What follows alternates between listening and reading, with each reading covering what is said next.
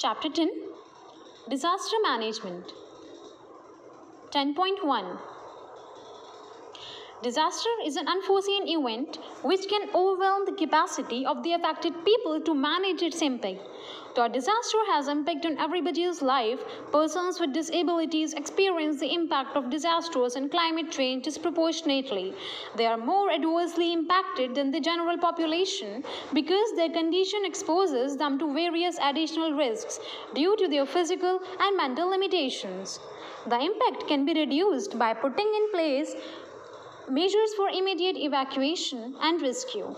Disaster management efforts aim to reduce or avoid the potential losses from hazards, assure prompt and appropriate assistance to the victims of a disaster, and achieve a rapid and effective recovery. 10.2 there has been an increase in the number of natural disasters over the past years, and with it, increasing losses on account of urbanization and population growth, as a result of which the impact of natural disasters is now felt to a larger extent. According to the United Nations, in 2001 alone, natural disasters of medium to high range caused at least 25,000 deaths around the world, more than double the previous year and economic losses of around $36 billion. These figures would be much higher if the consequences of the many smaller and unrecorded disasters that caused significant losses at the local community level are taken into account. 10.3 The new approach to disaster management started with the conviction that development cannot be sustained unless mitigation is built into the development process. Another cornerstone of the approach is that mitigation must be multidisciplinary, spanning across all sectors of development. The new policy also emanates from the belief that investments in mitigation are much more cost effective than expenditure on relief and rehabilitation. Disaster management occupies an important place in India's policy framework as poor people are the worst affected by disasters.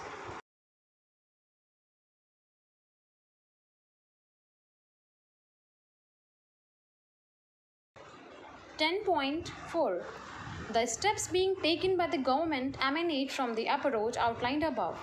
The approach has been translated into a national disaster framework, a roadmap covering institutional mechanism, disaster prevention strategy, early warning systems, disaster mitigation, preparedness and response, and human resource development. The expected inputs, areas of intervention, and agencies to be involved at the national, state, and district levels have been identified and listed in the roadmap. This roadmap has been shared with all the state governments and union territory administrations. Ministries and departments of the Government of India and the state governments or union territory administrations have been advised to develop their respective roadmaps, taking the national roadmap as a broad guideline. There is, therefore, now a common strategy underpinning the action being taken by all the participating organizations or stakeholders.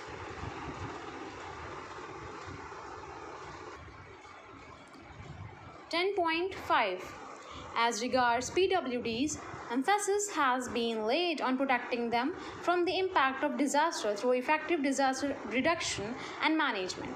At the global level, UNCRPD, Incheon Strategy, and Sendai Framework have mandated effective strategies both with regard to disaster risk reduction and its management. Article 11 of the UNCRPD deals with situation deals with situations of risks and humanitarian emergencies in respect of PWDs. It mandates the state parties to take all necessary measures to ensure protection and safety of PWDs in situations of risk, situations of armed conflict, natural disaster, and humanitarian emergencies.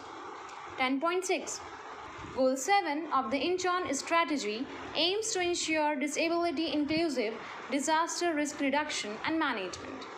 Its targets are to strengthen disability inclusive disaster risk reduction, reduction planning, and to strengthen implementation measures on providing timely and appropriate support to PWDs in responding to dis disasters.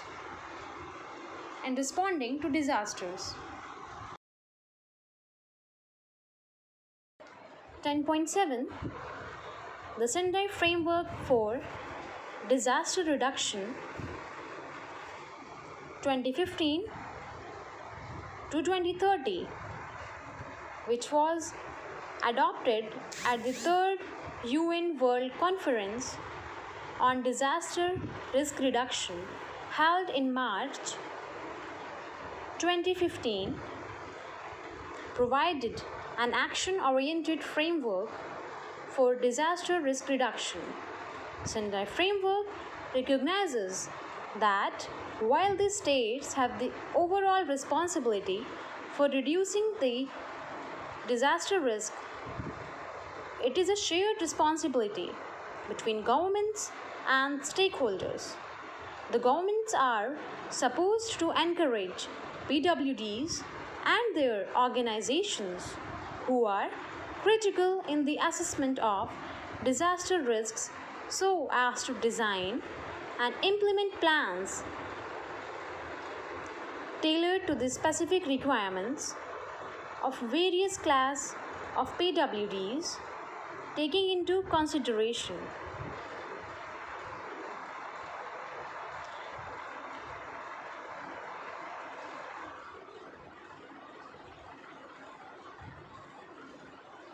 Inter alia the principles of universal design.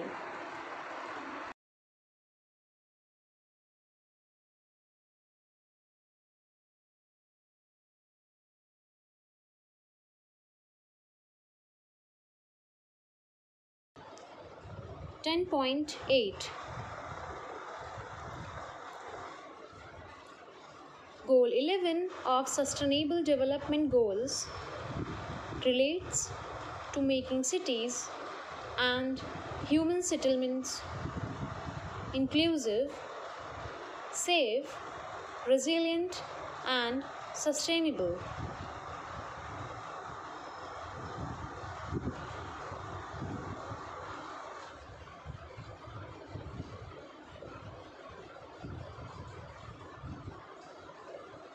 Target 11.5 of the said goal envisages reduction of loss of 1% of GDP.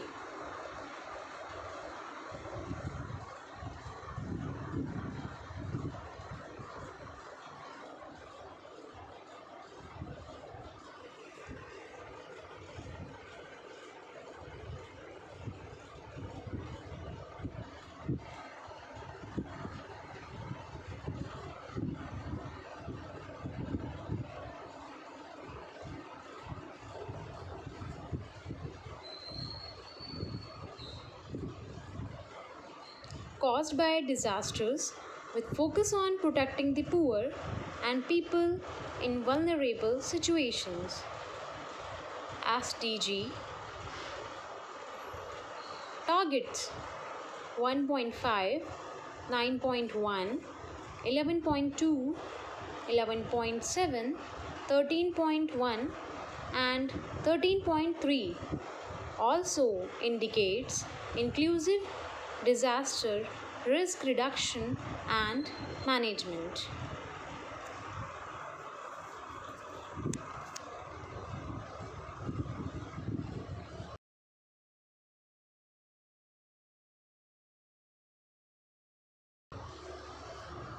Ten point nine Dhaka Conference on Disability and Disaster Risk Management held in December 2015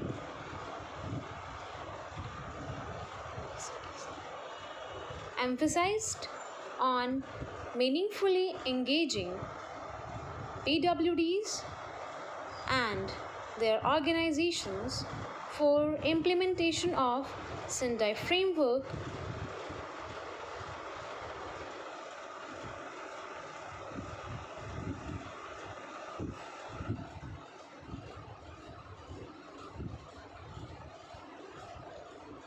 For disaster reduction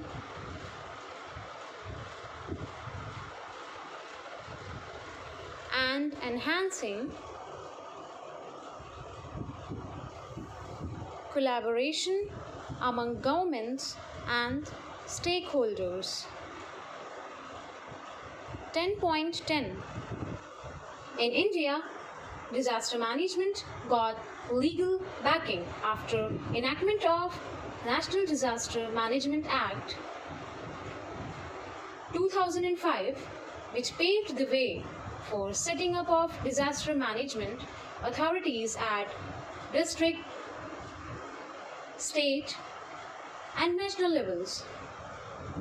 The government has also developed a specific standard operating procedure SOP on disaster management for PWDs to ensure their evacuation and resettlement during the time of situation of risks.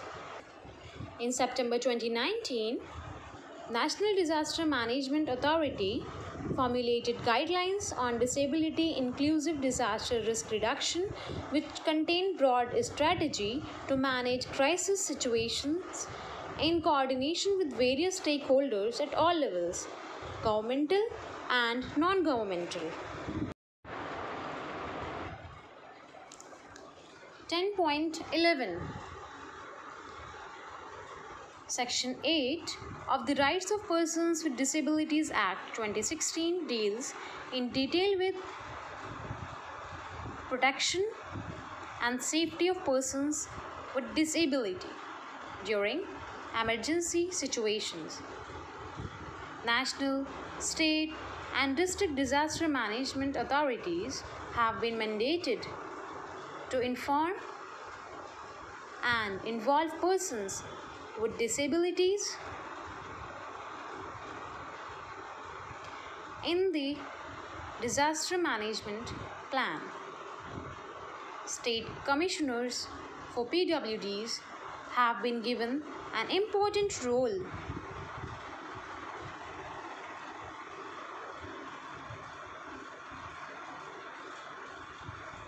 coordinate with these authorities. 10.12 DEPWD in March 2020 circulated its comprehensive disability inclusive guidelines to all states and UTs and the central ministries, departments to protect the interests to protect the interests of persons with disabilities during COVID pandemic. While the central and state governments rose up to the occasion, a number of lessons were learned in view of uniqueness of this disaster. Unlike in case of cyclones and earthquake, where relief measures are allowed unrestricted,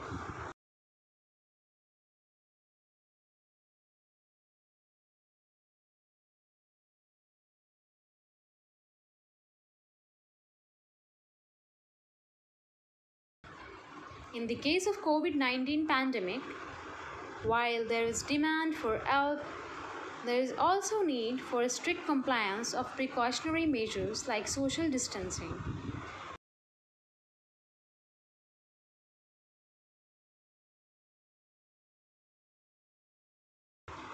Ten point thirteen. The policy envisages following points. First, ensuring preparedness during normal times with proper coordination with various stakeholders.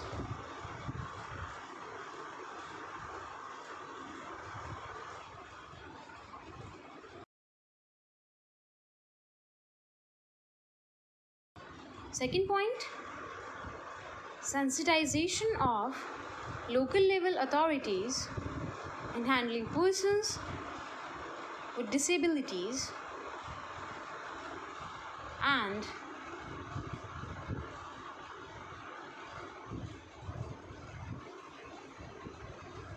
their specific requirements. Third point active role of state commissioners of PWDs and district level authorities in maintenance of basic data, list of voluntary organizations and disability associations, protocols in management of food, medicine and hospitalization, etc.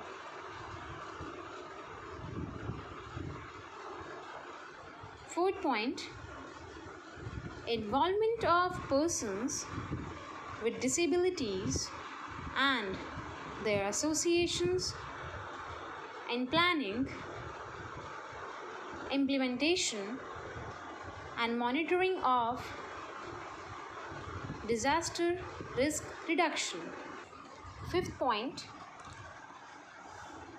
declaring a focal point for inclusive DRR for state level regional organizations working for PWDs and other organizations working on disability.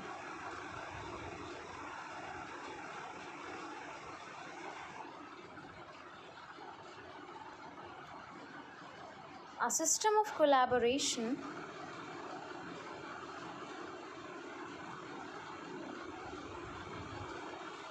between the focal point will also be established by NDMA.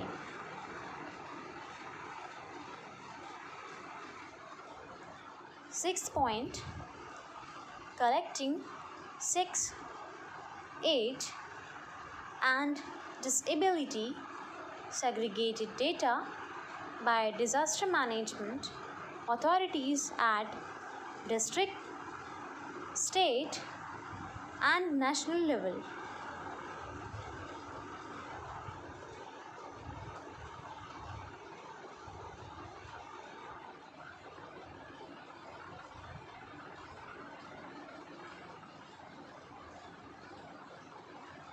Seven point conducting regular audits to ensure that all services related to disaster risk management are accessible and usable by NDMA or SDMA. 8 point training of manpower in the field of disaster risk reduction in the context of implementing disability inclusive DRR by NDMA or SDMA.